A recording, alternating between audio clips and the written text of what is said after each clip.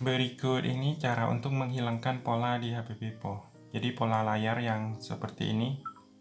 Kalau kalian ingin menghilangkan langsung saja berikut. Pertama buka yang namanya pengaturan. Nah setelah masuk di bagian pengaturan gulir ke bawah. Pilih bagian ini, keamanan. Nah setelah masuk ke keamanan lihat ada kunci layar di sini. Kalian pilih yang ini Nah, setelah itu masukkan polanya. Dan di sini kalau kalian ingin menghilangkan cukup mudah. Kalau ingin mengganti, pilih salah satu. Ini yang saat ini. Jadi kalau kita ingin menghilangkan, pilih yang tidak ada ini. Pilih hapus.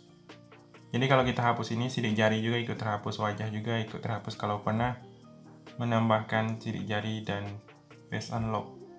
Nah, lihat kalau kita pilih tidak ada, terus kalau kita membuka atau membangunkan layar itu sudah tidak ada yang namanya kunci layar. Itu saja semoga bermanfaat.